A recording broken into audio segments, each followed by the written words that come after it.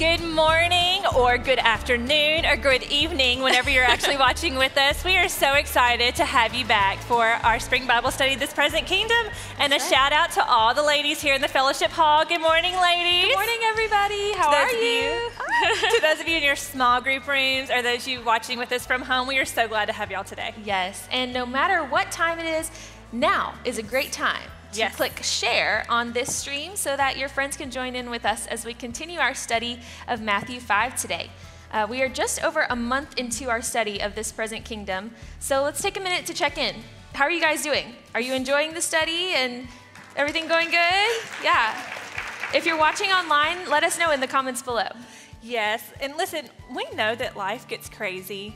Um, especially as women, we have a lot of things on our plate. We have family, you know, work, you know, all these other things going on. Just life. So, yes, and It's it gets busy. really busy really fast. So if you find that you're falling behind in this study, please do not be discouraged. Just pick up that workbook wherever you are Don't and jump right up. in with us. Please don't give up. Do not give back up. You can always go back and check in on those days that you missed. Yes, thank you for that reminder. I used to beat myself up when I would miss days, like in my Bible reading plan, um, and then I'd be so stressed out catching up that I wouldn't be able to just sit and let the Lord speak to me. So give yourself some grace and just pick up, pick back up with us today. If you're taking this time right now to open the Word of God and let Him speak to you, then you are exactly where He wants you to be. Yeah, that is right. And just know that we are your cheerleaders here from Yes. Bellevue Women, cheering you on to You catch up with us in the study. So do not be discouraged. Y'all, today we have Miss Donna back with us, and she's going to be in Matthew 5, verses 21 through 30. So y'all can go ahead and get your Bibles ready with us this morning. Yes.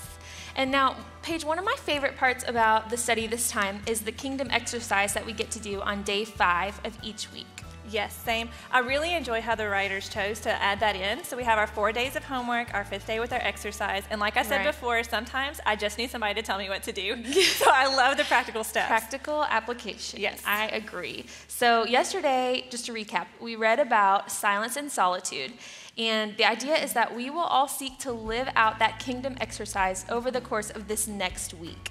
So, looking back at our previous one that we were trying to live out this past week, it was service.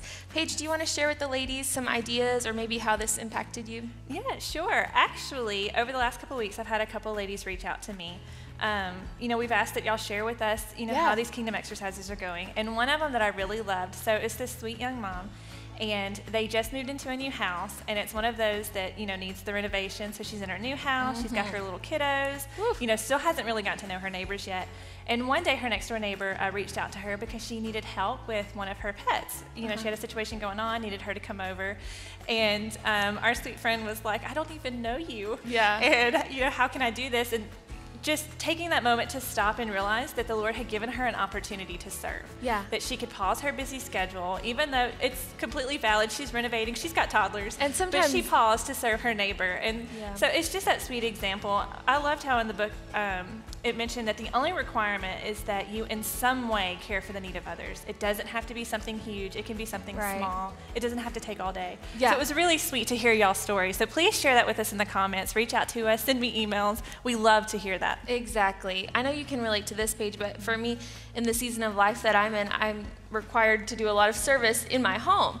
And so I needed that reminder this week just to die to myself and to live mm. given. I loved that thought, live given. Mm. My flesh tries to creep back in when like the laundry is piling up or it's 3 a.m. and the baby's crying and you know that idea Yes. of living given and because I've been forgiven, pouring myself out as Christ did, mm. it just really helped me to kind of change my attitude and my perspective. Yeah, it really does. And it's a great reminder, like you said, for myself, other moms, caregivers, that, you know, the Lord desires for us to live out these exercises, to serve in some way. And He is going to give us that opportunity to be faithful. Yeah. Sometimes And- it seems like an interruption.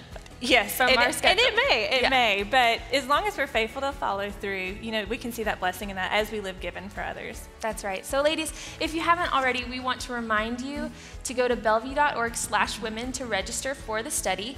Um, when you register, you're letting us know that you are part of this community here in Memphis and really all over the country um, who are studying this uh, passage together, and we'll send you a few emails each week just to give you some extra info and resources as we go. Yes, and ladies, as we prepare to jump in today's session, for those of you watching with us online, please don't forget to go ahead and share this feed on your own social media pages so your girlfriends can join with us. Those of you here on campus and even at home, if y'all want to go ahead and stand up as we um, join together to worship our Lord through worship.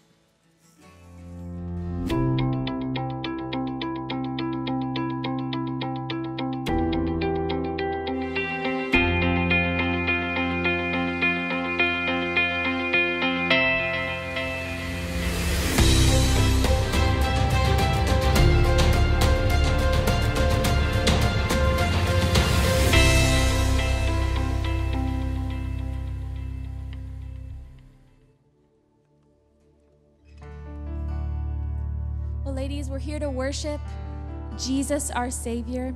He's the one that we can build our lives upon, and He's worthy of our worship this morning.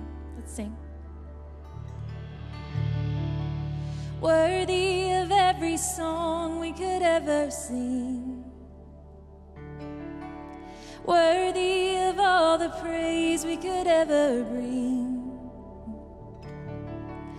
worthy of every breath we could ever breathe. We live for you.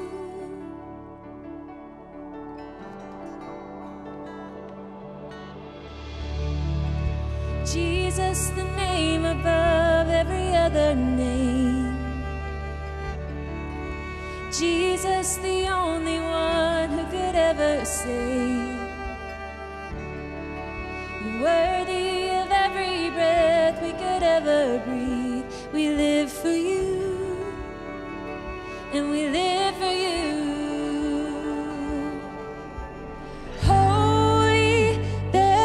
me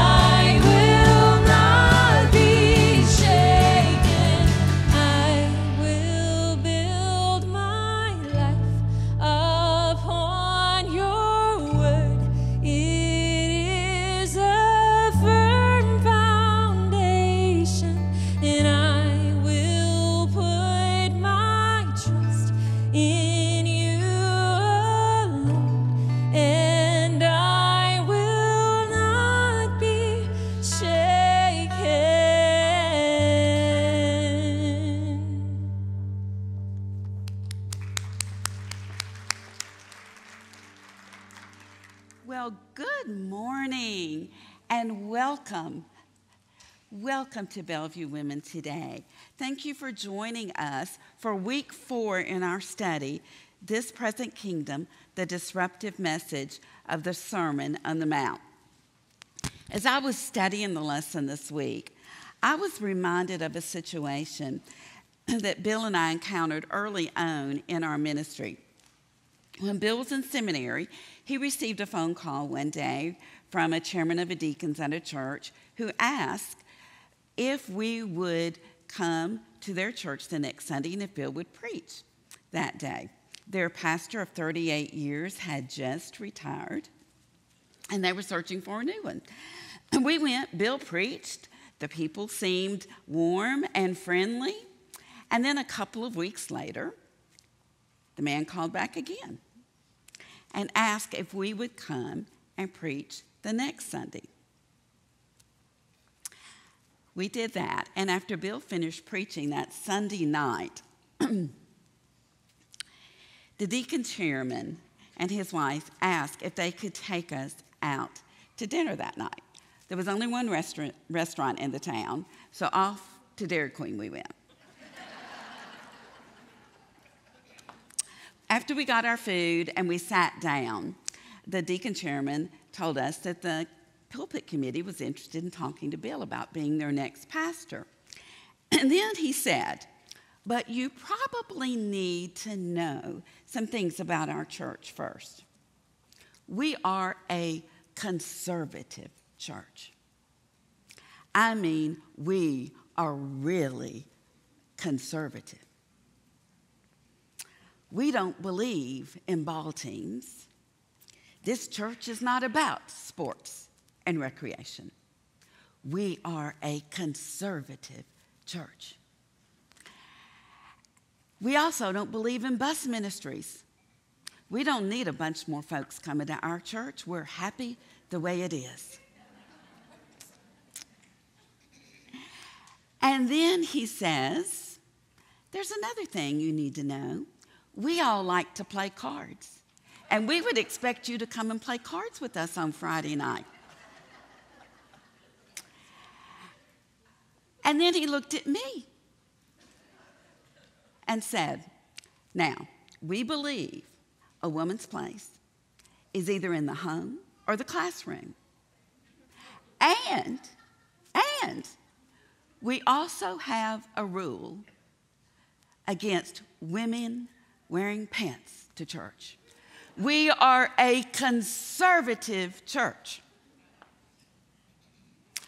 And then here was the clincher. I know, as if it wasn't bad enough already. Prepare yourself. He said, But we do use real wine for the Lord's Supper. I mean, you can get drunk as a skunk if you drink too much of it. I'm just telling you, you can't make some of these things up. You will probably not be surprised to know that when they called a few days later, Bill found a way to graciously decline their invitation for us to talk with them anymore.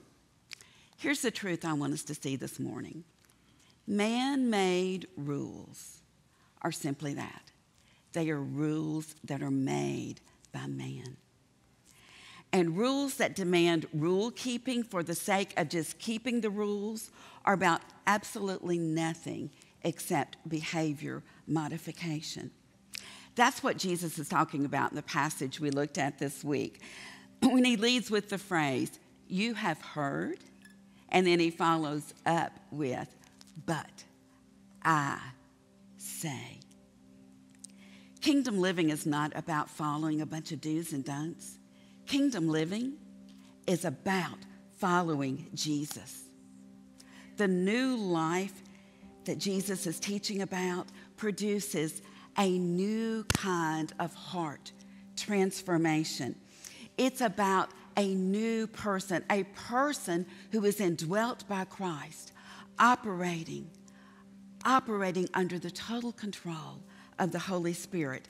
And you know what? When the relationship on the inside is right, the behavior on the outside will follow.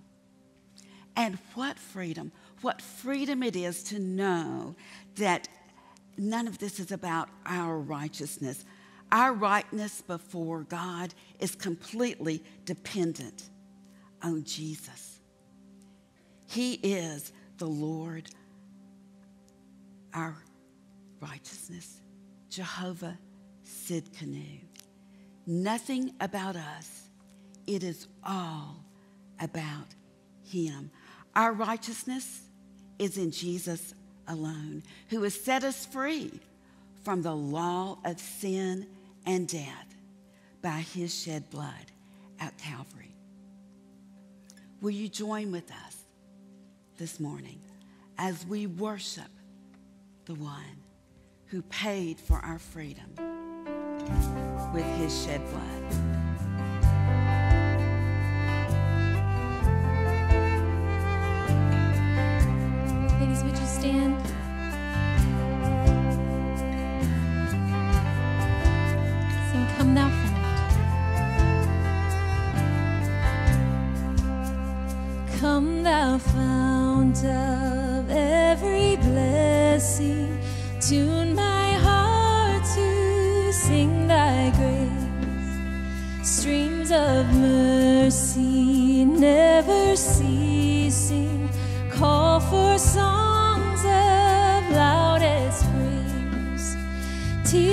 so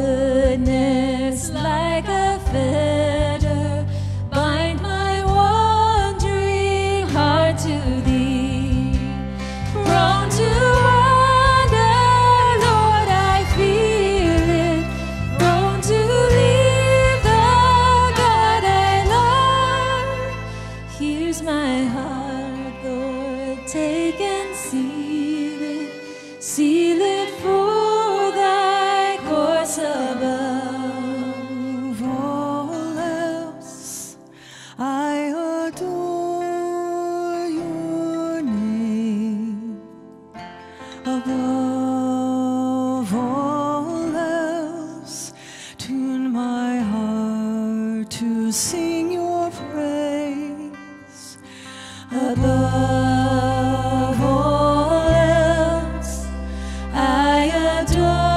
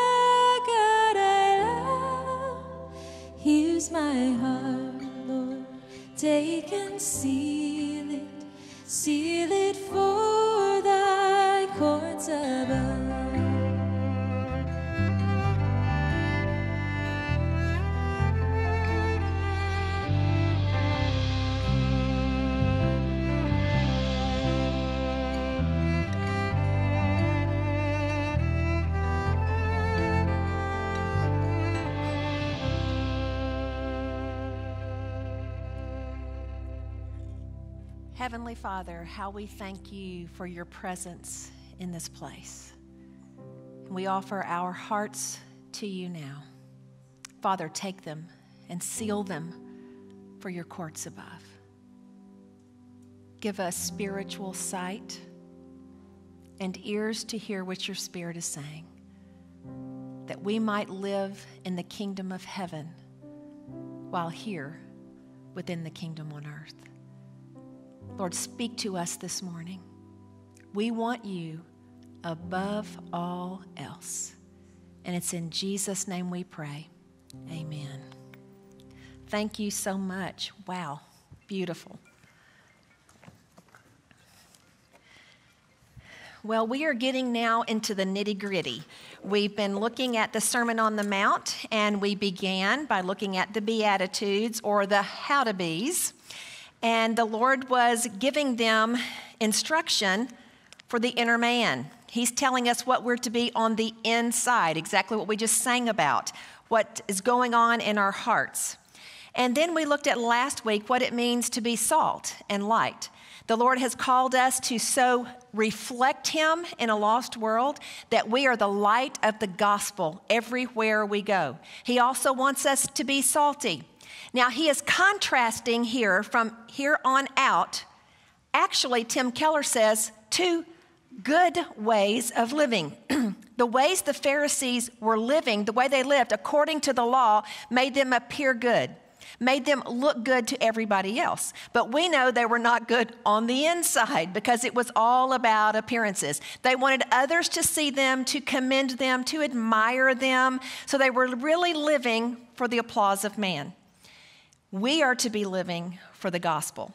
Tim Keller says you're basically contrasting gospel goodness and religious righteousness. Gospel goodness comes from the inside out. Religious righteousness is all about conforming outwardly. When we think about that, if we're going to be light and salt, we should be attracted to the world. We should have the heart of Jesus Christ, longing to go out into the world, but we should also be attractive to the world. The world should want what we have because of the wake of peace we leave behind, because of the fruit of the Spirit that should be evident in our lives, and that comes literally from the inside out. We can't manufacture it, we can't grit our teeth and make it happen. We are to be salty Christians full of light. Now, you guys in here have just come from a small group. And in your small group, there are going to be people who have all the right answers. And you may leave there thinking, man, I wish I knew the Bible the way she did. But there's probably somebody in your group, it could be your leader, it could be somebody else in the group, that just has the Spirit of Christ upon them. They have answers and insight, but they never share it in a way that makes you feel less than. And when you leave that small group, you're thinking, I want to know Jesus like she does. I want to pray. I want to walk with him. I want to learn to hear his voice like she does. That, ladies, is a salty Christian. And that is what we should desire to be. So full of Christ that others want Christ in us. Now, I'm not saying that the gospel itself is not offensive, because the gospel is offensive. The gospel tells people that we can't be good enough to earn our way into heaven. The gospel tells people that we're lost and without hope apart from Jesus Christ. And that God does have a moral standard, but the moral standard comes after the heart is dealt with. It's much deeper than just the outward appearance of obeying the rules. In fact, that's kind of the phrase that I came up with for this week was it's much deeper than that. It is much deeper than that. It goes way down within. I brought a glass this morning, and we're going to come back to this at the very end of our time together. But I'm going to put a little bit of water in here and stir it up. Doesn't that look lovely? Anybody want a drink? Because unfortunately, this is how we feel sometimes a little murky. We're trying to see through a biblical lens, and yet we seem to have a struggle sometimes seeing clearly. It's difficult for us to truly understand, and the only way we can is if we allow the Holy Spirit to be our teacher. So that's what we're asking God to do this morning. You know, Christian teaching is a vision that re socializes people's values and habits, that creates a new community of people, a new covenant people who will live together in love and serve as a model for the world of God Himself. We are to be a model of Christ. We are to be imitating Jesus Christ. We know that God has called us and He's set us apart to be children of God. We're to live for the kingdom of heaven while we're living in the kingdom of this world. And for us to be salt and light, we must go much deeper than just our outward behavior. Jesus was not doing away with the law, and we looked at that. He said, I didn't come to abolish the law. In fact, not even a stroke of a pen is going to pass away without being fulfilled. He came to fulfill the law, and He's the only one who could. He's the only one who could obey it outwardly, but also have the internal motivation and attitude of heart that is pleasing to God and holy in His sight. Jesus made it clear that that's what He came to do. And when we come to Christ, we receive all the blessings of His righteousness. And the last statement in last week's study is what the whole rest of the Sermon on the Mount is based on. Jesus said, Unless your righteousness surpasses that of the scribes and Pharisees, you will not enter the kingdom of heaven.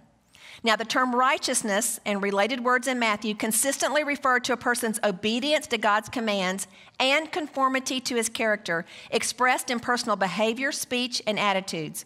This does not suggest that either Jesus or Matthew regarded entrance as a reward earned by good works. Instead, they recognized surpassing righteousness as the necessary evidence of one's identity as a true disciple. Superior righteousness focuses upon manifesting divine character rather than merely keeping divine commands. And that comes from Charles Quarles' book on the Sermon on the Mount. And then R.T. Kendall says the Pharisees' righteousness was an external righteousness. The Pharisees and scribes were empty shells. Godliness to them was all about appearances, what people could see and be impressed with. That's not Christianity.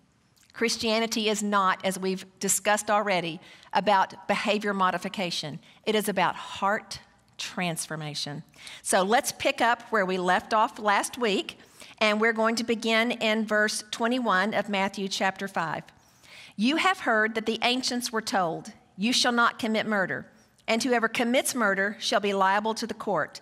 But I say to you that everyone who is angry with his brother shall be guilty before the court. And whoever says to his brother, You good for nothing, shall be guilty before the Supreme Court. And whoever says, You fool, shall be guilty enough to go into the fiery hell. Therefore, if you are presenting your offering at the altar, and there remember that your brother has something against you, leave your offering there before the altar and go. First, be reconciled to your brother, and then come and present your offering. Make friends quickly with your opponent at law while you are with him on the way, so that your opponent may not hand you over to the judge, and the judge to the officer, and you be thrown into prison. Truly I say to you, you will not come out of there until you have paid up the last cent. So, what was Jesus saying here? He's referring back to the law. And he says, You've been told by the Pharisees, you have heard it said from the ancients, goes all the way back to Abraham, the law given through Moses. You've heard the law that was given to your ancestors, and you've heard it said that you shall not commit murder. But what does Jesus say? But I say to you, He's not nullifying the law. He had just told us that. He didn't come to abolish the law, but to fulfill it. He's not nullifying the law. He's saying, but I say to you, it goes much deeper than that. It goes much deeper than just not murdering someone. It goes into the heart do you hate?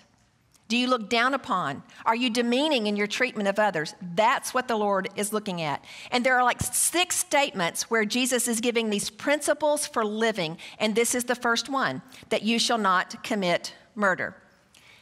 Matthew 15, verse 19, tells us that it's out of the heart that come evil thoughts, murders, acts of adultery, other immoral sexual acts, thefts, false testimonies, and slanderous statements. So we know we need to focus on our heart.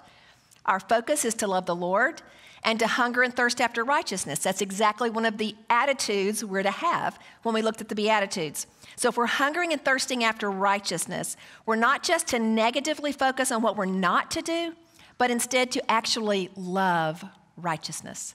To ask the Lord to give us a love for Him, to love Him with all of our heart, soul, mind, and strength, and to literally love righteousness. Because it is as we fall in love with Him and our love for Christ surpasses our love for self that we actually are able to overcome sin, that sin loses its grip on us, that we're no longer entangled in it or even enticed by it. In fact, sin becomes disdainful. We're disgusted by our own sin. We're disgusted by what we see in our own lives. And we're quick to confess and to repent it to the Lord before the Lord so that He can cleanse us from all unrighteousness. And in humility of, humility of heart, I'm going to seek to pray and help guide others to the freedom for which Christ died. He came that we might have abundant life, not getting by simply through gritting our teeth and pushing through. It does take dying to the flesh. It does take mortifying our flesh. But on the other side is the carefree life of trust and joy when we cast all our cares upon Jesus because he cares for us. And he literally said, His yoke is easy and his load is light. So if you're feel, feeling heavy, laden, if you're discouraged and frustrated, could it be that you're striving in the flesh instead of surrendering to the Lord and allowing Him to come in and have access to your heart and change your very desires. The Bible says, Delight yourself in the Lord, and He will give you the desires of your heart. To delight yourself in the Lord literally means to make yourself soft and pliable in His hands. He is the potter, we are simply the clay, and He molds us so that our desires literally become His. And then He gives us what we delight in because He has become our delight. Allow Him to capture your heart. And when I think about that, when I think about the love that we're to have for others and the care that we're to have, and not to be demeaning, not to look down upon, He is saying, don't even hate. And we have to ask ourselves, Lord, do I have unforgiveness and hatred in my heart? Because if I do, that's the seeds of murder.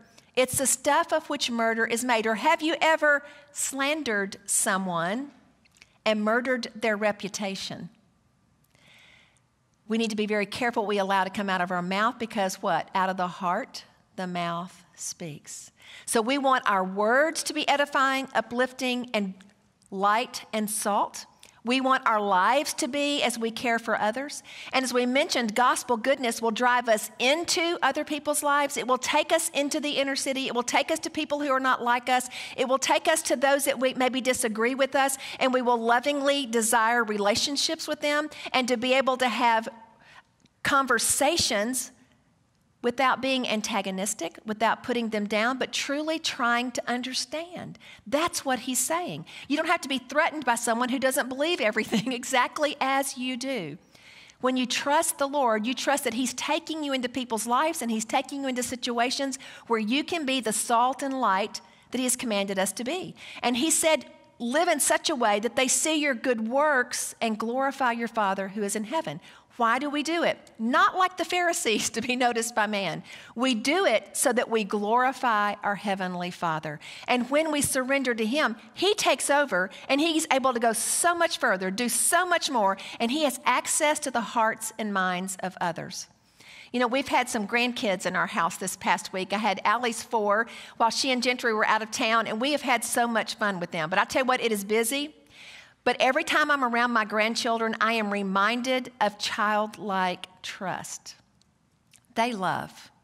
And in fact, a couple of weeks ago, we had Bethany and David's little Ainsley. Ainsley was three in October, and she is just lighthearted and fun and, you know, very talkative. She has an amazing vocabulary. She just, we just, we get so tickled at her. And so we were putting them to bed one night, and I'd gotten Grace and her younger brother to bed, and Steve was telling Ainsley a bedtime story, and he makes up these really silly stories. And so he's telling her a story, and she's laying in bed. She literally, not a care in the world, and she throws her head back and she's laughing with her mouth wide open, just unbridled joy. And I walked into the room just at that moment, and my heart wanted to explode with love for her, with love for Steve, laying there in that little twin bed, telling her bedtime stories.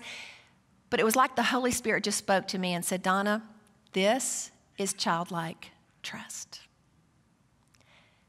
Unless you become like a child, you cannot enter the kingdom of heaven. And we have a heavenly Father who has told us he will take care of every need we have. In fact, we're going to get into that as we get on into the Sermon on the Mount. That if we seek first his kingdom and his righteousness, all these other things that we sometimes get so worried about are going to fade away. He takes care of us. If we, being evil, do good things for our children, how much more will our Heavenly Father, who is perfect, do good things for us? How much more in another place it says, will He give the Holy Spirit to those who ask?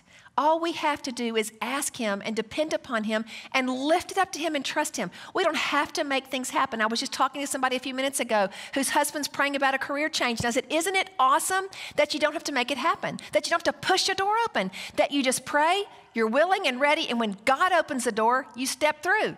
That is what he's calling us to. If it's a relationship that's difficult, what does he tell us to do? If you're giving your offering at the altar, what are we supposed to do? And you remember, you know what, I offended somebody, or there's been tension in a relationship, or um, somebody, I need to ask someone to forgive me. What do I need to do? He's saying basically, leave your sacrifice there. Your worship is worthless until your heart is right.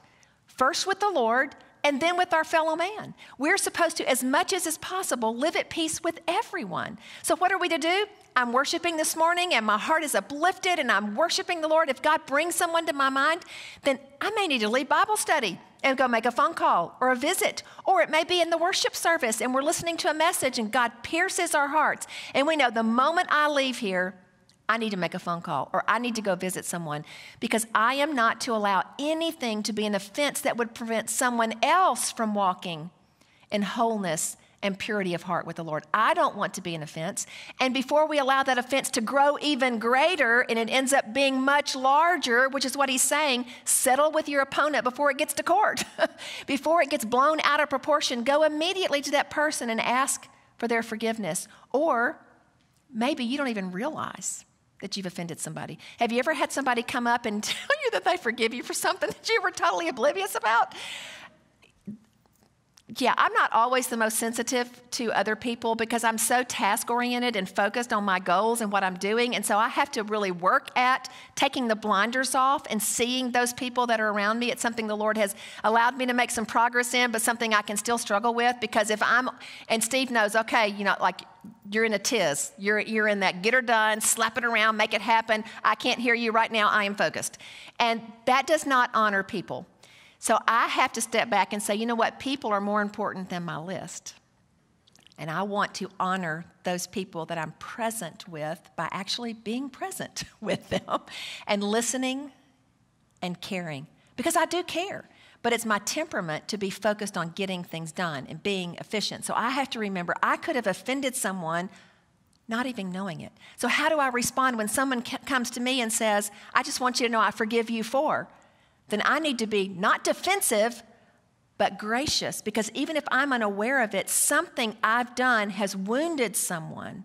Even if I think maybe, well, they're just a little too sensitive, that's not how, my, how I'm to respond. I'm to respond by saying, I am so sorry because I would never want to do anything that would offend you and that would in any way grieve or quench the flow of the Holy Spirit in someone else or in my own life by refusing to own up to it. So, you see how deep this is going? this is not surface righteousness. He's digging down deep, and when he does, sometimes we say, ouch, when he hits a nerve, right? So, if we're presenting our offering, we leave it there. We are to be reconciled to one another. We have been called to reconciliation. In fact, dictionary.com says reconciliation means the restoration of friendly relations. Once again, to be at peace as much as possible with others. And you know what, though? You can reconcile without resolving all of the issues or completely restoring the relationship. Because sometimes when there's been a wound so deep or a breach of trust, it takes time to rebuild trust. So it's not that the relationship is going to be immediately restored, but that we choose forgiveness because we've been forgiven.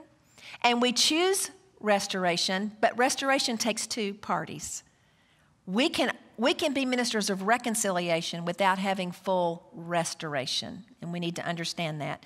2 Corinthians 5 17 through 19 says, Therefore, if anyone is in Christ, he is a new creature. The old things passed away. Behold, new things have come. Now, all these things are from God, who reconciled us to himself through Christ and gave us the ministry of reconciliation, namely, that God was in Christ reconciling the world to himself, not counting their trespasses against them. And he has committed to us the word of reconciliation. We have been reconciled with God through Jesus Christ, and He has called us to the same ministry of reconciliation that He performed for us. We are to be working diligently, proactively, helping others be reconciled to the Lord and reconciled with each other. What deep work needs to be done to cleanse your heart? What is the Holy Spirit revealing to you as you're doing this study? You know, Jesus stated very clearly that he's dealing with the heart. So our next passage begins in verse 27. Jesus said, You have heard that it was said, You shall not commit adultery. But I say to you that everyone who looks at a woman with lust for her has already committed adultery with her in his heart. If your right eye makes you stumble, tear it out and throw it from you. For it's better for you to lose one of the parts of your body than for your whole body to be thrown into hell. If your right hand makes you stumble, cut it off and throw it from you. For it's better for you to lose one of the parts of your body than for your whole body to go into hell. Wow. What's he saying here? He's saying, You've heard that it said, don't commit the act. But I'm saying to you, it's much deeper than that. It goes much deeper than that. And it goes into the heart. And you're not to look at someone with lust, you're not to covet someone else's spouse. How many of you last week were boiling water besides me? We were under a boil water advisory in Memphis, Tennessee after everything froze up and some water mains broke. And so I decided to look online and see kind of how does this work? How do these water mains work? And how do we keep water from getting contaminated anyway? And one of the things I found out was that water mains can even have a crack in them. You know, when it breaks open, it's pretty evident there's a problem. And we need to fix it, that the water pressure has been affected. We need to let everybody know hey, your water could be contaminated. There's a breach in the pipe. All the dirt and contaminants and bacteria can come into there. But what we sometimes don't realize is that even a crack in the water pipe if water pressure drops, creating a vacuum, it can suck in water and debris and bacteria into the pipe and it contaminates the water. Made me think about the command the Lord has given us to be filled with the Spirit. If my flesh is out of the way and the Spirit of God is able to be released in me and He is flowing forth, what did Jesus say? The Spirit of God would flow out of us like rivers of living water. So if every day I am spending time in the Word, I'm confessing anything God reveals before me, that I might walk blamelessly with Him. Now remember, not perfect, not sinless, but blameless, with all revealed sin confessed and repented of. I can walk blamelessly with the Lord so I'm not quenching which literally means it's like a tourniquet, cutting off the flow of the Spirit. That's what sin does. That's what unforgiveness and bitterness can do. That's what animosity toward a brother or sister in Christ can do. It quenches, it cuts off the flow of the Spirit. And guess what happens when the flow of the Spirit is cut off? The crack sucks in all this flesh. and I'm hit with all these thoughts about that person or that situation. But if I'm filled with the Spirit, then those cracks in my sin nature aren't open. There's not a vacuum to suck them in and to pull me back into the flesh, but instead I'm able to walk in the spirit. So I don't want my spirit pressure to get so low that I've left a vacuum for my flesh to come back in and fill me back up because I've died to the flesh. Jesus said I've got to daily deny myself, take up my cross, and follow Jesus. It's on a daily basis. You know, you may have the Spirit flowing freely on one day, and the next day, your water main can break. somebody can, you know, somebody can do something, some situation happens, and you immediately step back into the flesh. But that's where we have to stop and confess. What does 1 John 1 9 say? If we confess our sins, he is faithful and just to forgive us and to cleanse us from all unrighteousness. I want to be cleansed, purified, so that I can walk with the Lord, like Enoch did. You know, we look at him in Genesis 5, and then Hebrews 11 lists him in the hall of faith. And he walked with God, and Hebrews tells us it's because he so pleased God that God took him, and he was not. God took him home without him experiencing physical death because he walked so intimately with the Lord and so pleased the Lord that God just took him home. In this area of adultery and of lusting, we're to keep a pure heart. And ladies, we need to be careful that we don't dress in such a way that we can be a stumbling block to a brother in Christ or even to a lost man or a woman nowadays.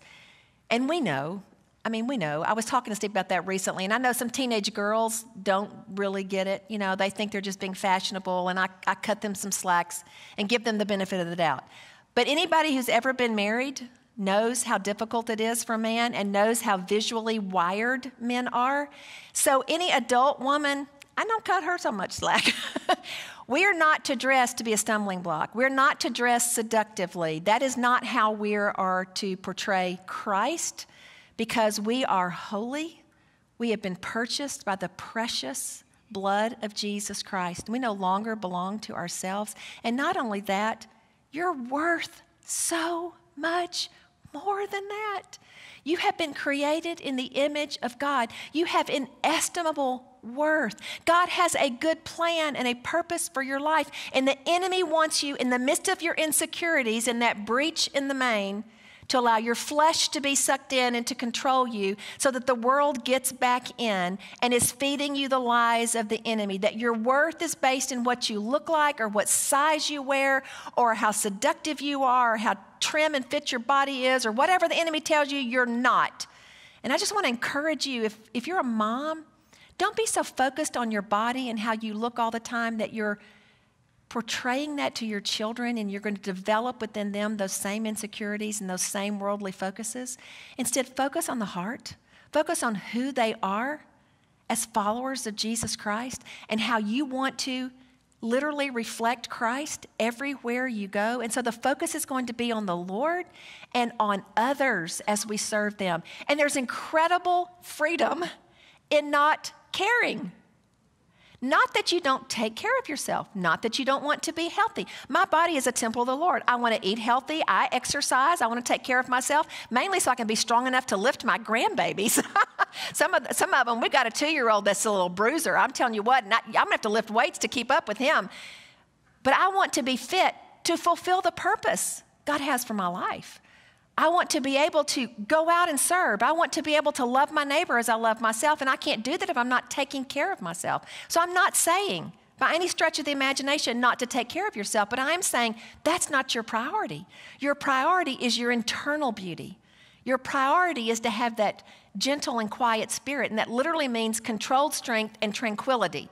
It is not a mousy person. That's not what God is calling us to as women. You are created in the image of God. In fact, I, I taught biblical womanhood at Catalyst this past weekend as one of the breakout sessions. And as a woman, you are created as an Ezer, E Z E R. It's the Hebrew word, and it literally means you're a strong helper, a strong warrior. That word is actually used 21 times in the Old Testament, and the majority of the time it is used to describe God as Israel's strong helper and protector.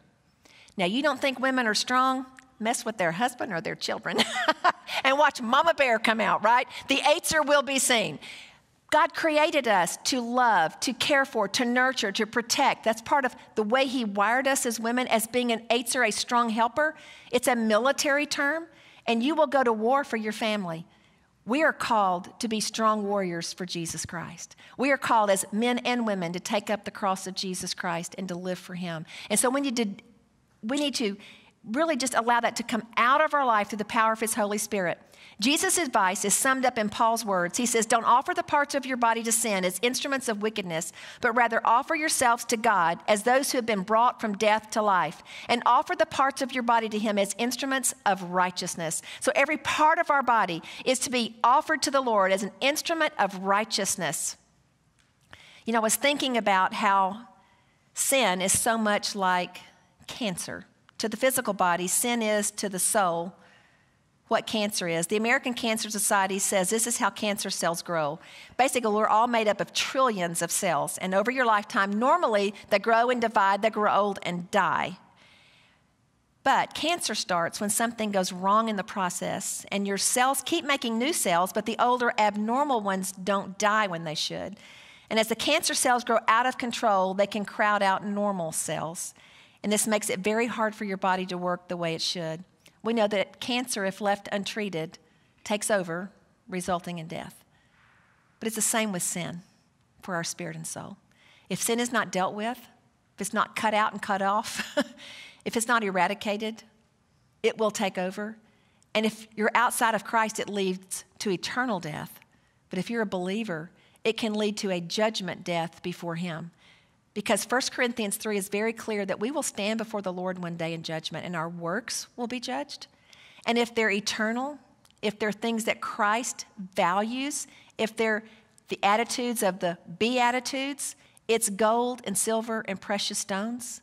That's what will come out of our works when it's tried by fire, our life as we stand before the Lord. But if we've invested in just the worldly things, if we've allowed resentment and bitterness and anger and jealousy and comparison to reside within our heart, that's hay, wood, and stubble.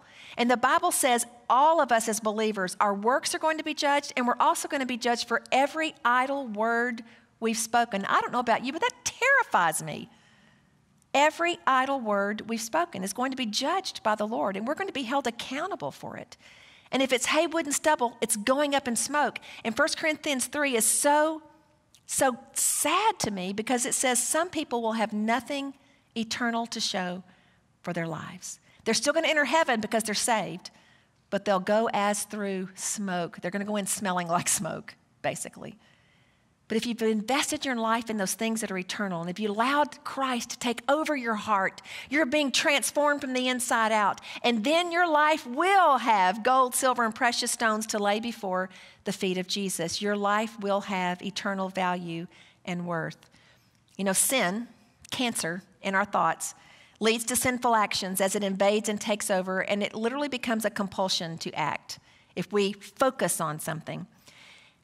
Called a stronghold in Scripture. And just like cancerous tumors must be cut out and blasted with chemotherapy or radiation, our sin must be cut off by the blood of Christ and God's Word, the sword of the Spirit. Unhealthy ways of thinking must be replaced with Christ honoring thoughts. So let's think about how the Holy Spirit does that. First of all, he starts with internal conviction. Now, this is not in your notes, so if you want to add it, feel free to. He convicts us. And the Bible tells us God is gracious. It says his loving kindness draws us to repentance. It is not condemnation. Romans 8 tells us there is now, therefore, no condemnation for those who are in Christ Jesus. That takes a huge load off of us because the enemy comes in to condemn. The enemy is the one who gives guilt and shame and separates relationships. That's what the evil one does. That is not the Lord. The Lord comes in and convicts you through his loving kindness, and his loving kindness is what draws us to repentance. But when we don't listen to that internal conviction, then there will be external chastening or consequences of that sin. And the Bible's very clear that God disciplines his own. And that if someone claims to be a believer and they're living in open sin and not miserable over it, and God's not disciplining them, they don't actually belong to the Lord. They're illegitimate because the Lord disciplines those he loves. He disciplines his children. And then the third form of discipline is the judgment seat of Christ that we just discussed. We're all going to be there one day.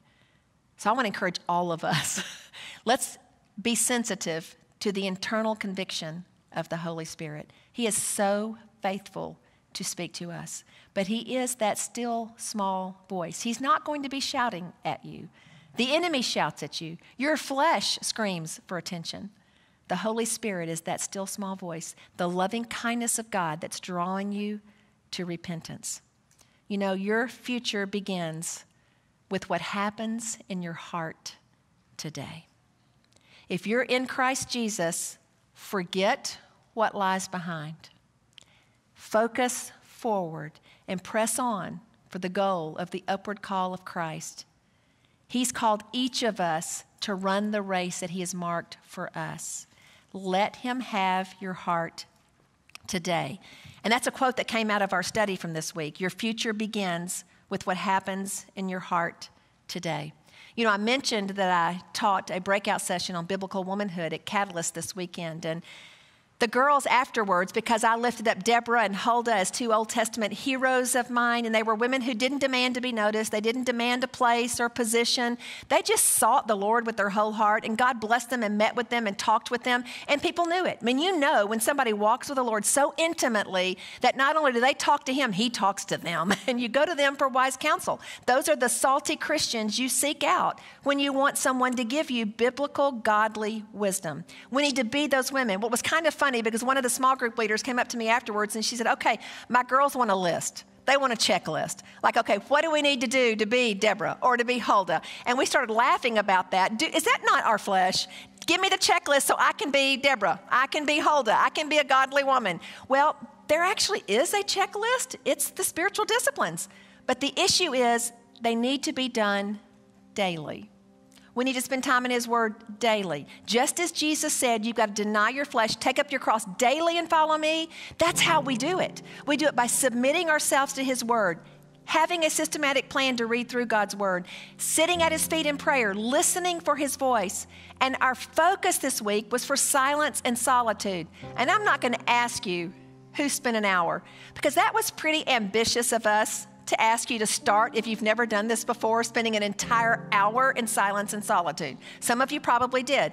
But I want to encourage you if that seemed intimidating or overwhelming to you, this week take 10 minutes.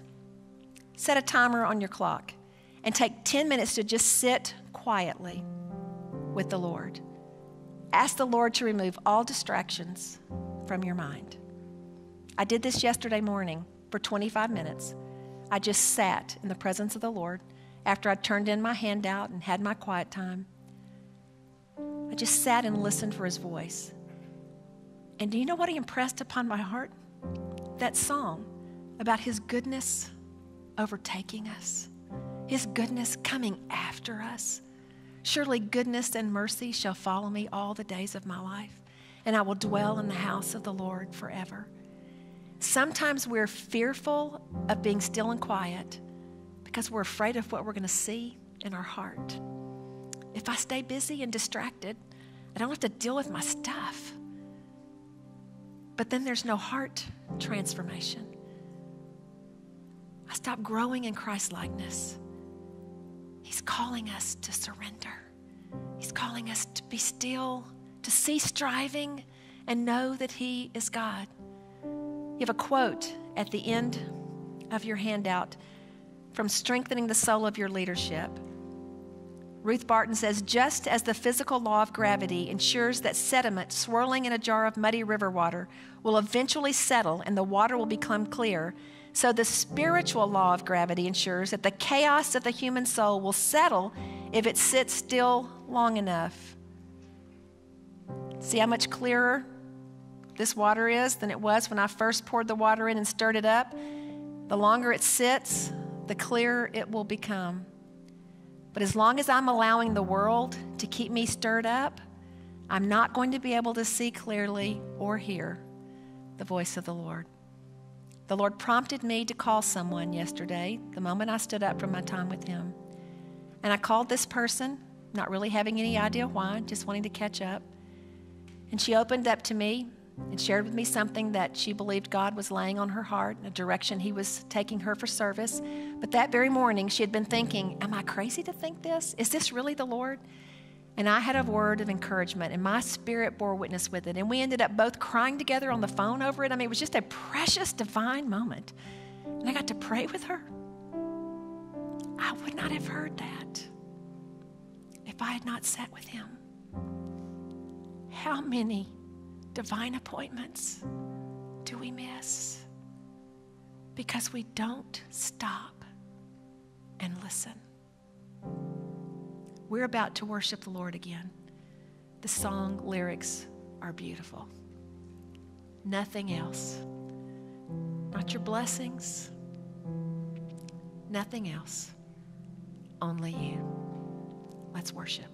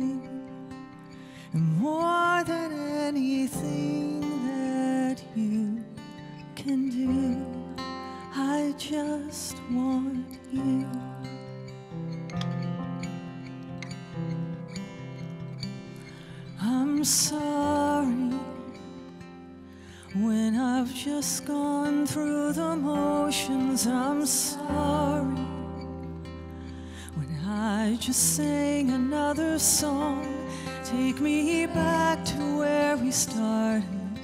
I open up my heart to you.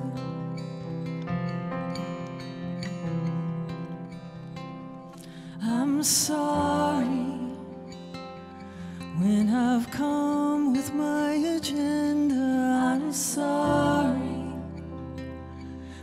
I forgot that you're enough. Oh, take me back to where we started.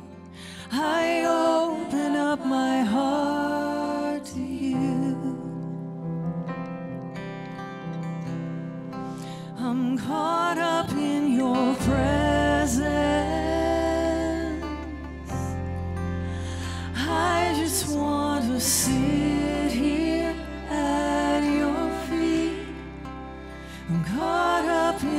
错。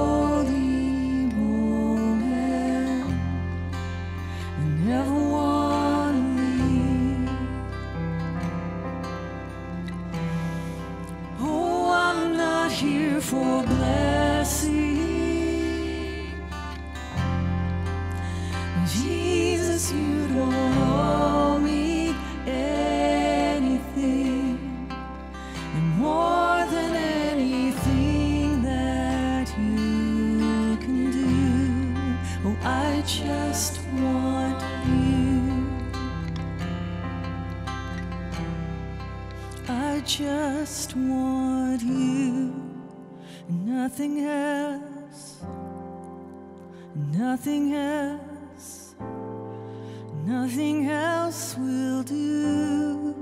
I just want you, nothing else, nothing else nothing else will do. I just want you, and nothing else. And nothing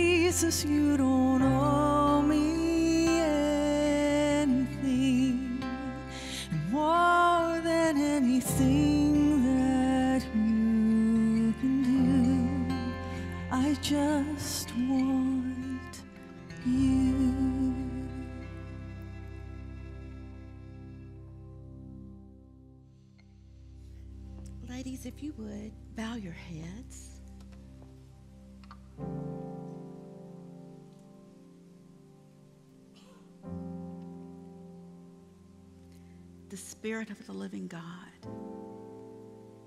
is in this room. He has graciously granted us His presence.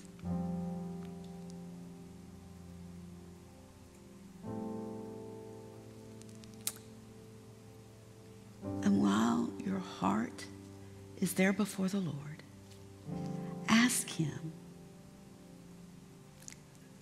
Is there a place of unconfessed sin that you need to deal with today? As Donna was teaching, did you feel that prick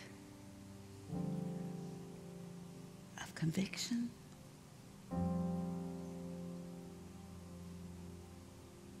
Just take a moment and ask God to reveal any area in your life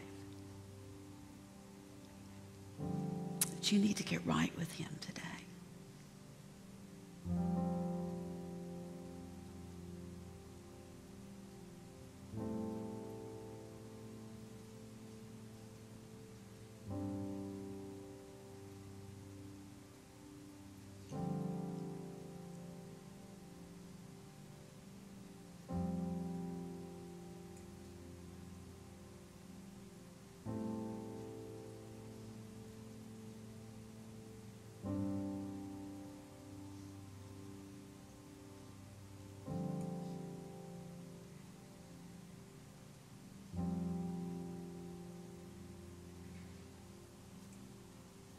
Father, we bless you. We bless you for loving us. Thank you for sending your son to take our place so that we could stand in his righteousness and in his righteousness alone. Father, we, your daughters, ask you to continue to do the work in our hearts, the transforming work in our hearts that makes us like your son, Jesus.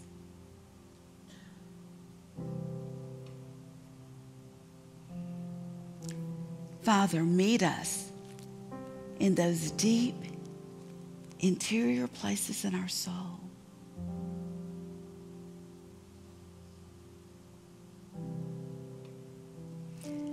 Speak words of life to us.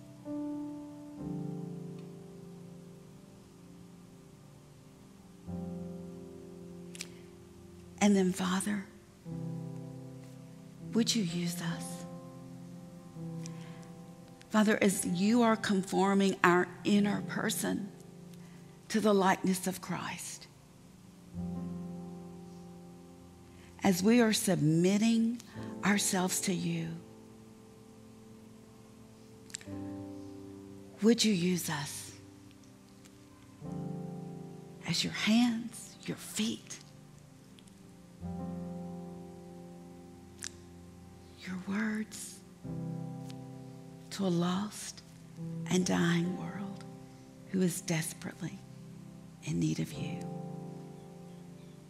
Holy Spirit, seal the message, seal the word that was spoken to each one of us on our heart today. And do not let us get away from it until it accomplishes exactly what you would have it to do within each one of us today. It's in the name of your Son, Jesus,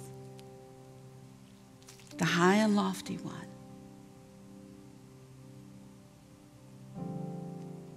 The Lord our righteousness, that we pray. Amen.